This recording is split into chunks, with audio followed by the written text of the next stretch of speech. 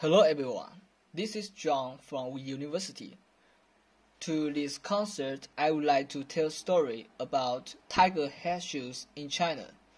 Tiger head shoes are made of cloth and the toe is made into the shape of tiger head. Long ago, in Yangzhou, there lived a boatman.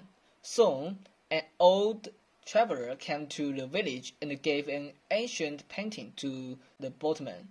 In the painting, a beautiful lady was sewing a pair of tiger head shoes with needle and thread. The boatman liked the painting very much.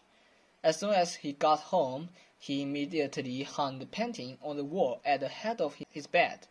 One night, the lady in the picture suddenly came out. A year later, they gave birth to a boy. When the village had heard about it, he took the picture away. To disappointment, nothing happened. The boatman's child grew up. He always kept calling his mother. The child insisted on looking for his mother, and finally he embarked on the journey of looking for the mother.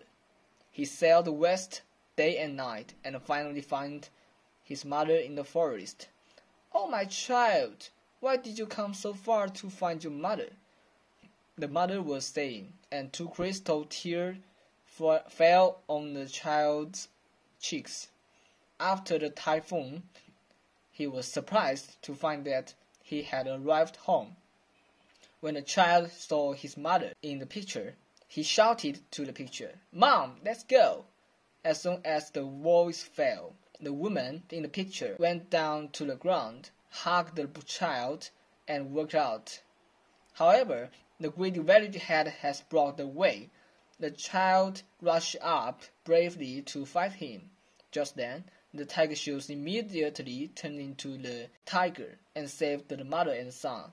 Since then, people have begun to make tiger head shoes for their children, hoping that it can protect the safety of children and families.